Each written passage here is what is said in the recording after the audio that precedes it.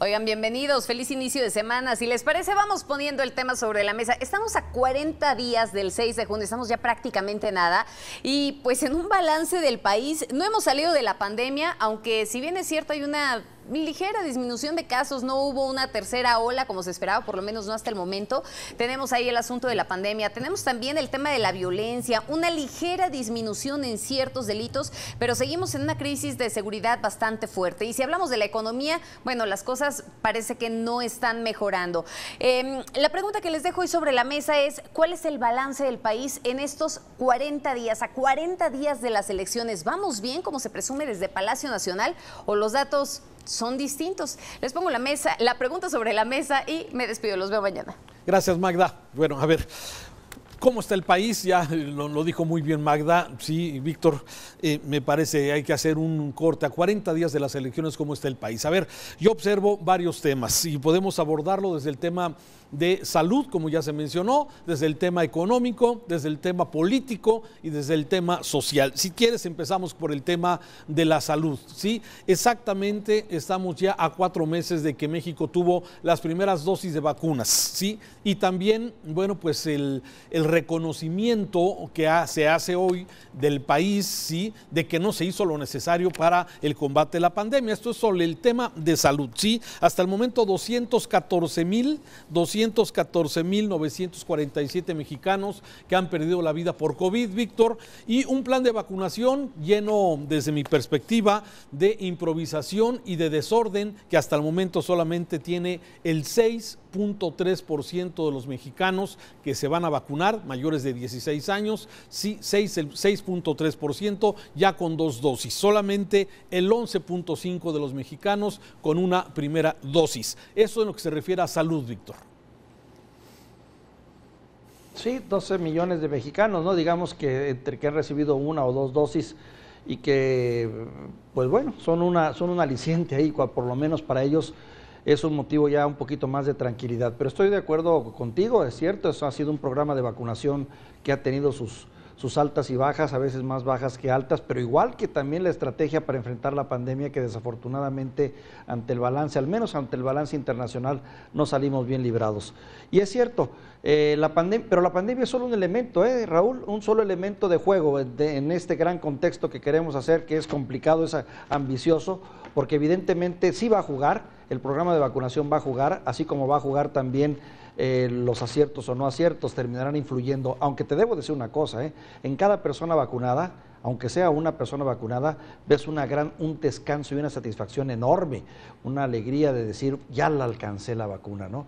En un contexto en que tú sabes muy bien, a nivel mundial, pues hay una gran falta de vacunas. O sea, va a jugar, pero habría que analizar también cómo está jugando lo político, cómo está eh, jugando lo económico. Así que, pues por ese lado, ¿qué te puedo decir? Conforme vaya más vacunados, habrá más gusto por, por, votar o no votar si a eso queremos llegar. Sí, claro, sobre todo considerando esto que tú comentas, Víctor, que muchas personas el tema de la vacunación se lo acreditan básicamente como un logro de gobierno. Sí, y bueno, hay quien tiene su visión, hay quien de alguna forma no se le acredita totalmente el tema a este gobierno, es un tema de un derecho universal, pero bueno, habrá quien seguramente tendrá que valorar sobre el tema de salud. Un segundo tema, ya lo tocaste, la economía.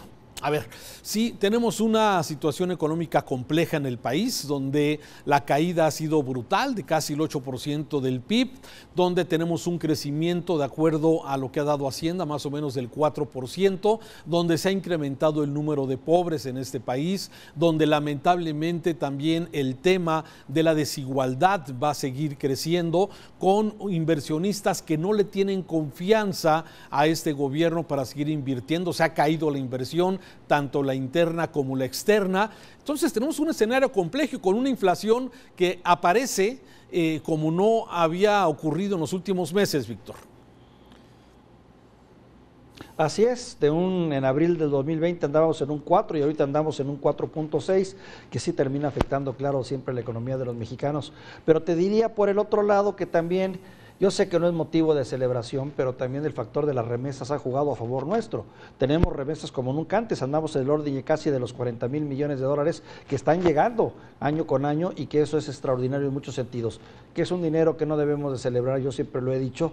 Bueno, se celebra la llegada, pero no las razones, porque implican el fracaso de las políticas sociales en México de mexicanos que han tenido que buscar en el extranjero la posibilidad de poder mantener a sus familias. Está también las exportaciones, las exportaciones siguen al alza, es uno de esos grandes motores de nuestra economía que sigue operando a nuestro favor. O sea, ahí van. Y hay que también recordar, Raúl, el descargo del gobierno, que en este momento hay por lo menos 25 millones de personas que están recibiendo o son beneficiarios de un programa social que reciben un dinerillo que antes no recibían. 4 mil, 3 mil, 4 mil, 5 mil pesos, que quieras o no, sirven para mover economías locales. Eso también va a ayudar y pienso que se va a terminar reflejando. Volvemos al 6 de junio. Sí, y me parece que sí es importante esto que nos estás haciendo referencia sobre el tema de la economía. Ahora hay que recordar que la economía no empezó mal en esta administración.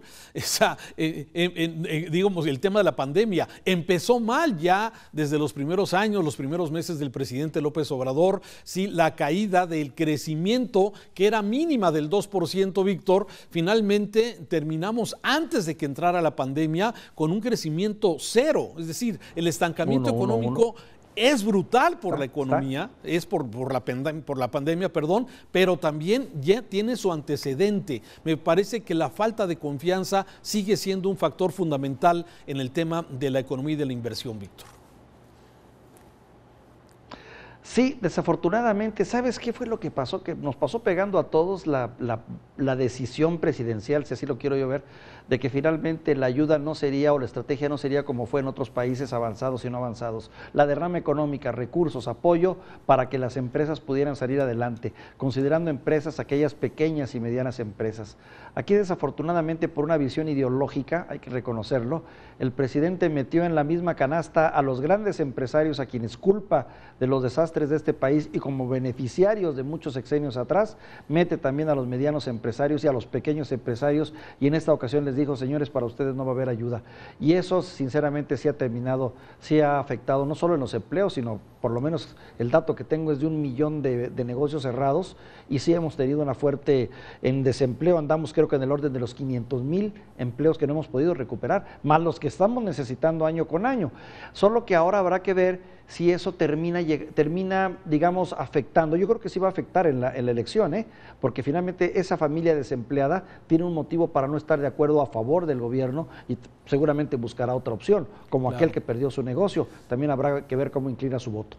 Otro factor que seguramente estamos a 40 días de la elección y otro factor que también va, va a jugar importante es el tema de la inseguridad, Víctor. ¿sí? Hemos dado a conocer los datos, ¿sí? Ah, si se logra una ligerísima disminución, mira, pero los datos son contundentes, ¿sí? Simplemente en homicidios dolosos, ahí te va, el último año de Peña Nieto, el 2017, bueno, el penúltimo, 29.636 homicidios dolosos. El 2018, ya con un mes de, de la administración de López Obrador, 34 mil homicidios. 2019, 35 mil homicidios. 2020, 35 mil 484, ¿sí? Y en lo que llevamos hasta el momento, enero-marzo, 8.464, aunque las autoridades presumen una ligera disminución de, eh, de este tema, que es, me parece, el, delito más fuerte, que es el asesinar a, una persona. ¿sí? Y aquí me parece que ese es un tema que va a pesar exactamente en la jornada electoral. Fíjate Raúl que tengo mi propia lectura de estos datos que tú das y que son contundentes y es cierto, no ayudan, un promedio de 100 personas muertas por día, de las cuales por lo menos 10 son mujeres y 3 son niños, no es un dato que abone a que hemos logrado la, seguridad en este país. De hecho, a nivel mundial estamos considerado como, considerados como uno de los países más peligrosos del mundo y hay varios estados que están perfectamente identificados, es más, hasta ciudades en las que gobiernos como Estados Unidos prohíben estrictamente a sus ciudadanos que vayan por riesgo de su seguridad. Sin embargo, también debo decirte algo, que el crimen organizado tal como se presenta y que en algunos estados afecta más en la cuestión de la percepción. El ciudadano promedio común no tiene ese problema, tiene otro tipo de problemas que van con el robo de su auto, el robo del asalto que tiene a mano armada en el autobús, en el cajero automático, el fraude que le hacen por internet. O sea, los, los delitos de, de, fuero común o de, la vida común son los que más lastiman al ciudadano.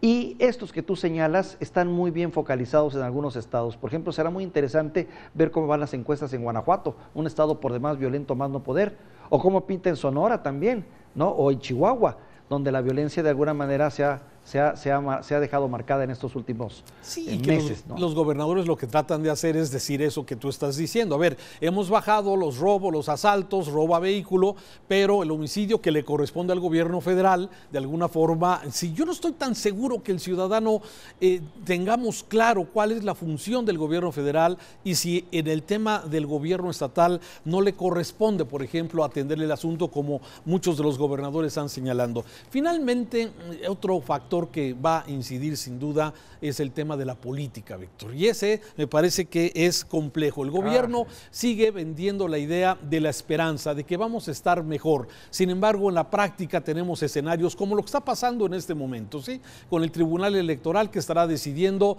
las candidaturas de Félix Salgado, el impresentable, de Raúl Morón, el tema de la proporcionalidad. Tenemos el tema de el Estado de Derecho, que está una vez más en riesgo con el tema de la ley Saldívar, este tema de tratar de intentar o de proponerlo como una ley, ¿sí? el prorrogar, el ampliar el periodo del presidente del Poder Judicial dos años violando la Constitución. Me parece delicado.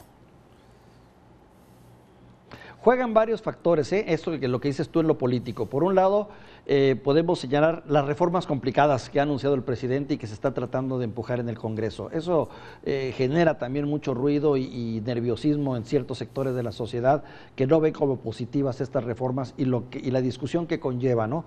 Por otro lado, también los famosos impresentables, esos candidatos y aspirantes que nos han dado muestras de la clase y la calidad política que tenemos en este momento y que también afectan mucho en el ánimo del electorado. ¿no? Por ejemplo, estábamos viendo el caso de Félix Salgado Macedonio, la preocupación que deben de tener en Morena no es tanto si va bien o mal en Guerrero, que va muy bien, por cierto. Fíjate las ironías de la vida. Eh, eh, el asunto es que tanto influye en el, en el voto femenino, en el voto femenino que a nivel nacional se ha polarizado tiene que ver también con la actitud misma del presidente. Ya vemos que tenemos un presidente echado para adelante que pues ha abierto sus propios frentes. Tiene frentes con medios de comunicación, frentes con mujeres, frentes con empresarios, frentes con doctores de, la medicina privada que no se han sentido atendidos. Todo eso tienes mucha razón, va a terminar también afectando porque es un sector, digamos, pensante, un sector que sí analiza y que puede castigar si se lo propone. Pues ese es el escenario que tenemos a 40 días de la jornada electoral, me parece, en, lo, en, la salud, en la inseguridad, en la economía, en lo político y en lo social. Polarizados, Víctor, quizás como yo no había visto nunca antes. Es que nunca antes, mi querido Raúl, te habíamos tenido un proceso electoral tan ambicioso. Más de 15 gobernaturas y más de 21 mil puestos de elección popular. El poder, mi querido Raúl, el poder y el dinero. Víctor, muchas gracias por tu análisis de esta tarde, desde luego aquí en este, en este punto de debate. Muchas gracias.